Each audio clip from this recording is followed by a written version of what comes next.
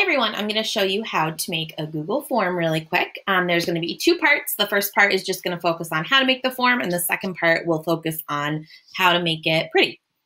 So you're going to go to New under your Google Drive, and you're going to press More, and we're going to go to Google Form, and we are going to do a blank form. I never work from a template. Um, I think you have more control if you just do it yourself. And this is what your screen is going to look like. The blue line shows you which question you're currently on.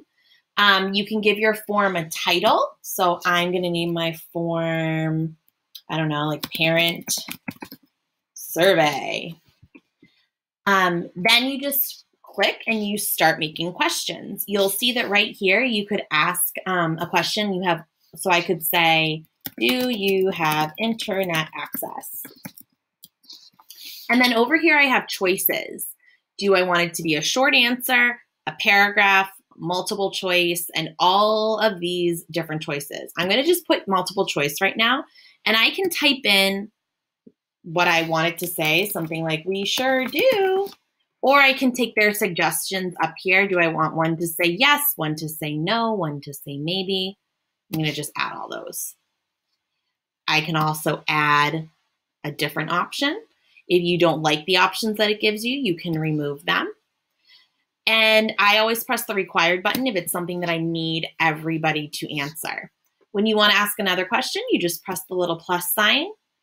And so let's see. Oh, I forgot to ask what the date was. So I'm going to go to date and I'm going to say, what is the date? And it automatically puts it in date format for me. And I want to move this to be my first question so I can hover over it and I can move it just like that. So what I'm going to do right now is show you one that I pre-made just to show you what all of the questions can look like. So this was the date. This is a multiple choice one. It lets everybody pick one option. This was a drop down menu um, choice, so they're going to have one choice there. Check boxes, I always make sure I do check all that apply because you can answer more than one. This is a linear scale, so one to five, and you set what your parameters will be. This is something called a multiple choice grid. So they're going to have rows and columns. It will look like this on the sheet. So they have to do one thing in every row and column. The checkbox grid is a little bit different. It will look like this in the end, and they can choose more than one thing in each row and column. And then a paragraph answer um, allows them to write. The same thing with short answer, but the short answer um, stops them at a certain point, I believe. The paragraph, they can write as much as they want. Now, I'm going to show you what this looks like once it's done. You click on the little eyeball over here to preview it. And this would be what anybody I sent it to um, sees. So anything with a red asterisk is what I've said is required. And you'll notice that that's going to be all of them except for the last question.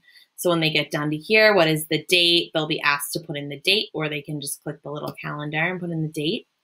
What's their favorite? They have to choose one thing. Do you like remote learning? This is a drop down, so they can pick one.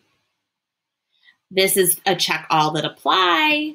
So they would check everything they like to do. What's the perfect temperature? One is freezing, five is super hot. What weather do you like on a beach day? Well, I would like it sunny. Um, and it says this question requires one response per row, so it reminds them. Let's see, on a home day, I like it rainy. And on a school day, maybe I would like it cloudy. How do you work best? Well, in reading, maybe I work best doing all of these things. But in math, maybe I work best by myself. Writing could be with a partner, and science is in a group. Do you have any questions or comments? I did not put required on this because some people are going to write something, some people are going to say, no, I don't, and they're going to skip it. So I'm going to press no. And then someone would submit. And then it says they're done.